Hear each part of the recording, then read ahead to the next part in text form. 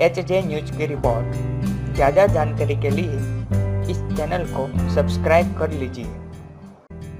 2005 में दिया गया सैफ अली खान का एक इंटरव्यू मीडिया में वायरल हो रहा है।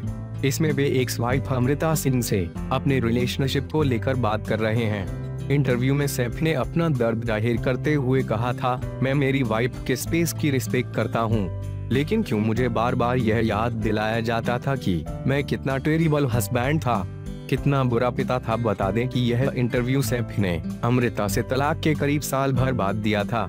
सैफ ने कहा था, रोना आता था, जब मुझे अपने बच्चों से मिलने नहीं दिया जाता था।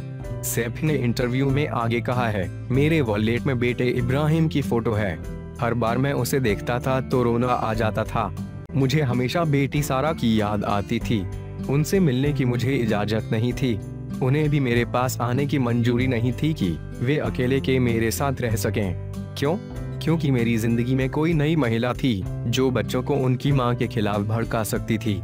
ऐसी कई बेतों की बातें थी और अमृता इन सब के बारे में जानती थी।